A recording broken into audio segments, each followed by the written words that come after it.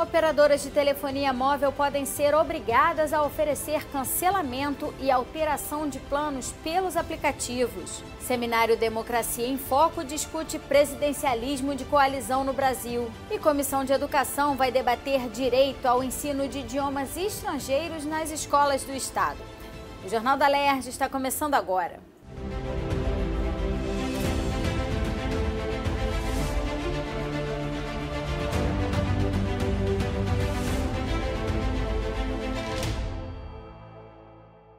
Boa noite. Os clientes de telefonia móvel podem ter garantido o direito a encerrar ou alterar os planos contratados nos aplicativos das empresas operadoras.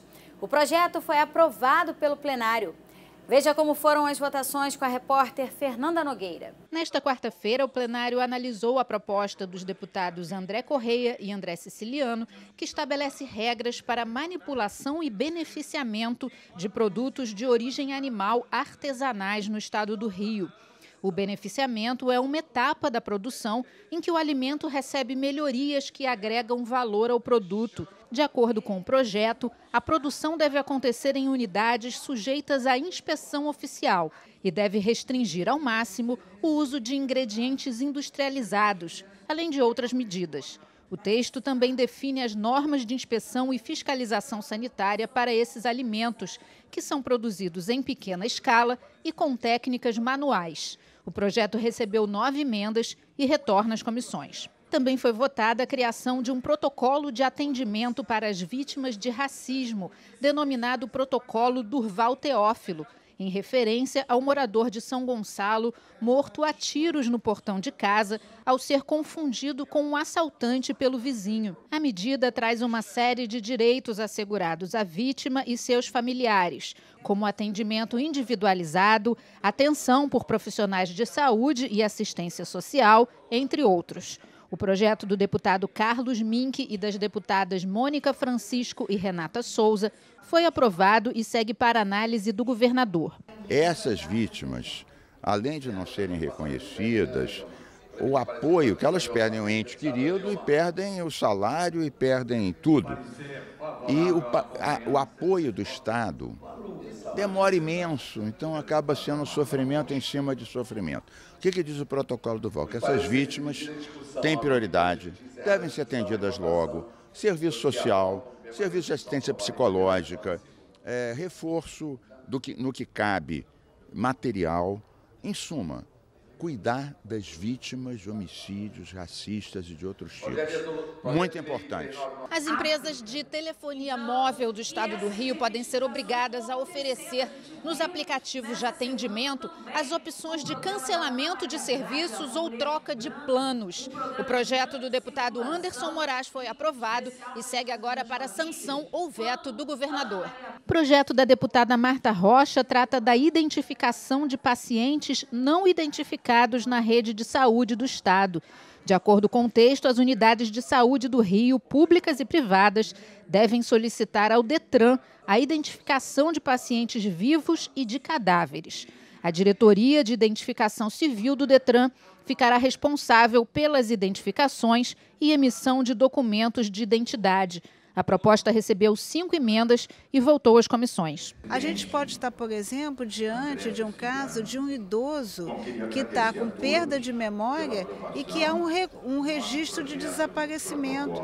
Ou numa situação pior, né, alguém que é levada a um hospital para socorro e venha falecer, por exemplo, uma mulher que foi brutalmente violentada é, por um ato de violência física né, praticada dentro de casa, uma tentativa de homicídio que resultou, num, que teve um resultado morte. Então, assim, tanto dos vivos quanto dos óbitos, é importante que a, se saiba quem são aquelas pessoas para dar não só o acolhimento a essas pessoas, a reinserção para as suas famílias, como também adotar as medidas é, de natureza policial. Pode ser criada criada no Rio a campanha Água é Vida, para estimular o consumo de água potável e conscientizar a sociedade sobre a importância de manter o corpo hidratado. A proposta do deputado Márcio Canela prevê ainda a realização de palestras e seminários sobre o tema e a instalação de bebedouros em locais públicos de grande circulação. O texto foi aprovado e retorna à pauta para mais uma discussão. Mototaxistas e motoboys proprietários de motocicletas podem ficar isentos do pagamento de IPVA. A proposta do deputado subtenente Bernardo recebeu uma emenda e vai ser analisada nas comissões. E nesta quarta aconteceu o segundo dia de debates no seminário Democracia em Foco, promovido pela Alerj e a Fundação Getúlio Vargas. Democracia, palavra que significa governo em que o povo exerce a soberania. É o sistema político em que os cidadãos elegem os dirigentes por meio de eleições periódicas. O seminário Democracia em Foco é um ciclo de debates em que se discute a trajetória do governo representativo no país, com ênfase na questão partidária, no relacionamento entre os poderes executivo e legislativo e nas políticas públicas. O objetivo é promover o acesso da população às principais fontes de conhecimento guardadas na memória nacional. Ideias para se colocar em prática durante o seminário. Importante a gente estar discutindo democracia, a riqueza do seminário, das palestras, porque não se constrói uma casa da democracia sem falar sobre democracia, sem falar sobre o país, sem falar sobre a nossa cidade, sem falar sobre o nosso Estado. Então, é uma oportunidade que nós estamos tendo aqui com palestras incríveis, com profissionais brilhantes, de discutir esse tema para que a gente possa fazer uma bela Casa da Democracia para o cidadão. O professor Fernando Limonge detalhou as funções estabelecidas na Constituição Federal para os poderes executivo e legislativo. Ele explicou ainda o que é presidencialismo de coalizão no sistema político brasileiro. O nosso presidencialismo é de coalizão porque o partido do presidente não tem maioria no Congresso. Então, se o presidente quer aprovar alguma coisa, ele precisa de maioria no Congresso. Significa que ele precisa trazer outros partidos para fazer parte do governo. Então, essa distribuição de pastas ministeriais, de formação de governo, com trazendo para outros partidos para o governo, é a forma usual que todos os governos minoritários têm para formar a maioria, seja em presidencialismo, seja em parlamentarismo. Então, isso é o que é o presidencialismo de coalizão. Quando o tema é a judicialização da política no Brasil pós-Constituição de 1988, é preciso saber que o Poder Judiciário só entra em cena quando é provocado. Exemplo atual é a legalização do aborto, questão que dificilmente será aprovada no Congresso Nacional. O assunto foi parar no Supremo Tribunal Federal. Esse exemplo do aborto, tudo bem, o PSOL sabe que isso não vai passar, a bancada evangélica é forte, agora também entende que é um direito fundamental e vai recorrer à Corte Suprema. Por quê? Porque é um direito fundamental, está consagrado na Constituição a liberdade das mulheres, como também a questão do direito do nascituro, então é um problema jurídico. Talvez o interessante fosse que a Corte se manifesta contra, é, em relação à inconstitucionalidade constitucionalidade e depois o poder, o poder legislativo, considerando a apreciação jurídica, também é, se manifeste e aí haja um diálogo. Durante a tarde, uma nova mesa de debates foi formada. Discutiu temas como a crise democrática, a autonomia das agências burocráticas e o desafio das desigualdades e as políticas públicas do Brasil. Para a professora Daniela Campelo, o país atravessa um momento de crise na democracia e desmonte das suas suas instituições. Segundo a palestrante, governos considerados populistas e autoritários usam a estratégia de descrédito institucional para destruir a capacidade do Estado e ameaçar a democracia.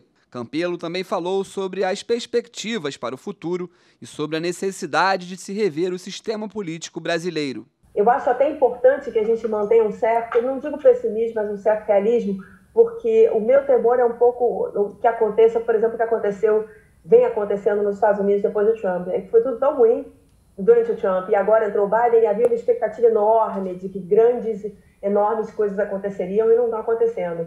E isso é o, o, o caminho mais curto para eleger um DeSantis ou eleger o Trump novamente. Então é preciso que a gente tenha um pouco de, de noção de que se houver alguma normalidade nesses próximos quatro anos, isso aí vai ser tanta coisa do ponto de vista de pensamento em termos de investimentos, pensar em longo prazo, em fazer planos de longo prazo para o cidadão comum, que eu acho que já vai ser uma grande coisa. Já o professor Sérgio Praça trouxe para o debate a necessidade de algumas instituições federais terem autonomia para combater medidas que possam vir a ser adotadas pelo Poder Executivo. É, é bem razoável esperar que um presidente nomeie um ministro da Justiça, por exemplo, ou nomeie um chefe da Polícia Federal. Né? Isso está dentro do, do jogo. Né? É, só que é importante que esse ministro, que esse chefe da, da Justiça, ou chefe da Polícia Federal, ou superintendente do IBAMA, seja lá o que for, é importante que essa pessoa tenha né, um olho para o que o presidente quer e um olho também no, digamos, interesse público, na Constituição de um modo mais amplo. Então, quando essas duas coisas estão em conflito, é, é importante a sociedade pensar que pode contar né, com, com um burocrata, né, um nomeado para um cargo burocrático que tenha espírito público. O seminário Democracia em Foco se encerrou com a palestra da professora Célia Lessa, que fez uma reflexão sobre como algumas escolhas políticas podem influenciar o aumento da desigualdade no Brasil e como os serviços sociais públicos devem ser encarados sob a perspectiva de desenvolvimento e expansão da capacidade humana. Estudos recentes demonstram que o investimento no bem-estar, na educação e na saúde da população reduzem mais a desigualdade social do que a transferência direta de renda. A professora citou algumas políticas danosas que contribuem para essa disparidade social e falou sobre a importância dos serviços sociais públicos para diminuir a desigualdade no país. O que eu tentei sugerir é que, se o governo investe na expansão dos serviços sociais, com uma mão ele está dando para a população aquilo que a população demanda mesmo, saúde, educação, cultura, habitação, transporte de qualidade, tá? E com outra mão ele está diminuindo a renda que essa população vai precisar gastar se ela tivesse que comprar essas coisas entendeu? Então, se tem um bom subsídio no transporte coletivo, transporte de qualidade, isso diminui a renda que a sua, sua família vai precisar gastar com o transporte. E assim sucessivamente, com educação, com saúde, moradia, etc. Então, também a expansão dos serviços sociais públicos, ela tem um impacto importante sobre a desigualdade. E no Brasil, a gente tem o potencial de fazer isso. Por enquanto, a gente não está usando todo esse potencial, tá? Porque o nosso gasto em saúde e educação, ele é pequeno, ele é baixo, ele é insuficiente. E nesta quinta, a Comissão de Educação da Alerj vai discutir em audiência pública o direito ao ensino de idiomas estrangeiros nas escolas do Estado. Os parlamentares também devem debater as condições de trabalho dos professores que lecionam essas matérias. A gente quer debater é, a educação plurilíngue, ou seja, a educação que pode se dar em diferentes línguas. Isso tem uma dimensão é do processo de formação dos nossos estudantes, que tem que acessar não só a língua portuguesa, a língua inglesa, que está previsto atualmente na legislação federal, mas também a possibilidade de outras línguas, como a língua espanhola, francesa, que em diversos momentos já constaram dos nossos currículos e ainda hoje tem uma presença, mas também uma preparação das escolas para lidarem com uma realidade que é uma realidade onde o próprio Brasil, e em especial o Estado do Rio de Janeiro, são marcados pela presença de diferentes nacionalidades e pessoas é, falantes de diferentes línguas. E aí é importante que a gente tenha uma adaptação nas nossas escolas para receber, por exemplo, o Estado do Rio de Janeiro e o Brasil recebem muitas pessoas que vêm da América Latina. É, o Estado do Rio de Janeiro e o Brasil recebem pessoas que vêm do continente africano em situações de refugiados, por exemplo, que falam francês, que falam inglês, né? E a gente precisa então ter nas nossas escolas também uma capacidade de recebê-los. O serviço itinerante da Comissão de Defesa do Consumidor da Alerj vai atender a população da Penha nesta quinta-feira. A van da comissão vai ficar estacionada na Rua dos Romeiros, próximo ao BRT, das 9 da manhã às 5 da tarde, tirando dúvidas e encaminhando as reclamações dos consumidores. O Jornal da Alerj fica por aqui. Você pode acompanhar a programação também em nosso site e pelas redes sociais. TV Alerj, o canal do povo. Uma boa noite para você e até amanhã.